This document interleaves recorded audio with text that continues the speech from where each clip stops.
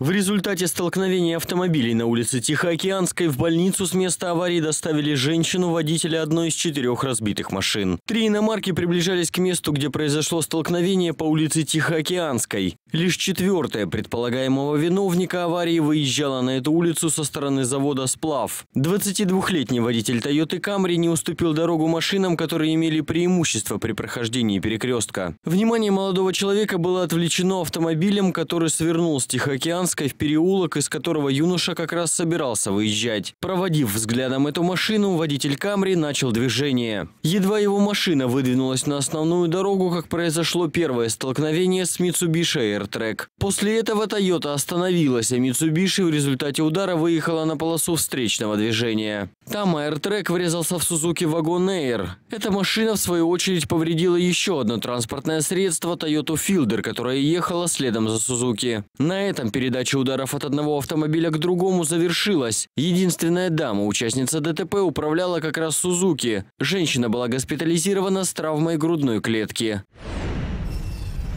Автомобиль, в котором перевозилось двое детей, попал в аварию на перекрестке улицы Суворова и проспекта 60-летия октября. В Ниссане Марч, кроме несовершеннолетних, ехала и их мама, а за рулем сидел глава семьи. Именно отца автоинспекторы признали виновником в этой аварии. Второй машиной управляла женщина. На Тойоте Вица двигалась по проспекту от завода отопительного оборудования в сторону села Ильинка. Перекресток дама пересекала на зеленый сигнал светофора. Мужчина с семьей ехал во встречном направлении. На перекрестке он попытался повернуть налево на улицу Суворова. Ему тоже зеленый, соответственно. Он просто не э, увидел меня, не убедившись, что в отсутствии меня стал поворачивать назад. Ну, он говорит, что отвлекся просто. Своей оппонентке виновник признался, что отвлекся как раз на детей, расшумевшихся на заднем сидении машины. Дамскую «Тойоту» в автосервис повезли на эвакуаторе полной погрузки. Машина виновника смогла покинуть место столкновения своим ходом. Люди в аварии остались невредимы.